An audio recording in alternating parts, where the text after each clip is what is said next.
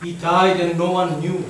No, no one said he was the better man, the best man. Was he the only one? No, there are others. We are here, holding light in the darkness, asking, searching, finding another way. Listen, see, remember, we are here.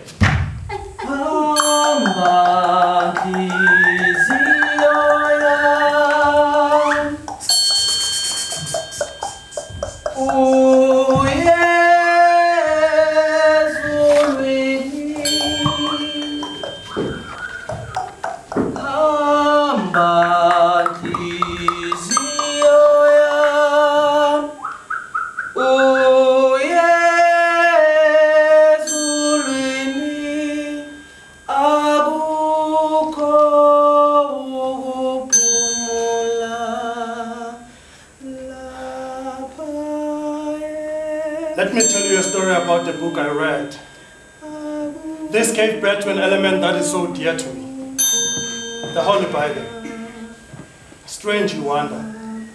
You wonder how's that possible? Well, it is only if you believe. You see, this book gave me ideas to discover my hidden talent to speak. By that I mean public speaking.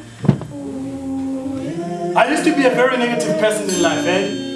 I always thought that whatever that did not make sense, I would say, I deserved it. Because I convinced myself that my birth was a mistake. Ecclesiastes chapter 9 verse 11 says, I returned and I saw under the sun that the race is not to the swift, nor battle to the strong, nor bread to men of riches, but time. Time and chance happens to all. I needed to change. Rick Warren in his purpose-driven life says, the purpose of your life is far greater than your own pers personal fulfillment. James MacDonald in his Always True says, fear.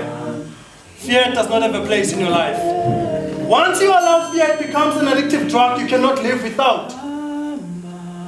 In the very same book, verse 10 says, Whatever your hand finds to do, do it with your might, for there is no work or device or any plan in the grave where you are going. Black man, change is possible. Change is possible. Change is possible. Change is possible.